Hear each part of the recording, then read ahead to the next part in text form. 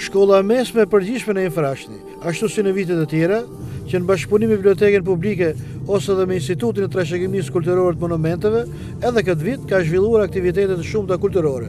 Kështu, është realizuar vënia në skenë e fenomenit të teatrit absurd, duke u bazuar nga letërsia dhe filozofia ekzistencialiste. Nëndrejtori i kësaj shkolle, poeti dhe publicisti Ilir Paja, vuri në skenë përmes një analize studimore mbi letërsinë e absurdit, personazhe, fatet e tyre, të cilët janë pasqyruar në letërsi.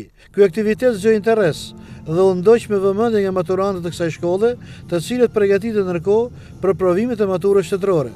Interesi i stafit dhe i maturantëve ishte i madh, ndaj e ndoqën me vëmendje. Nxënësit, theksoi nëndrejtori Paja, janë një burim i përhershëm energjie të madhe pozitive, nisur nga qëllimi i mësimit, dhe kultura që përçojnë.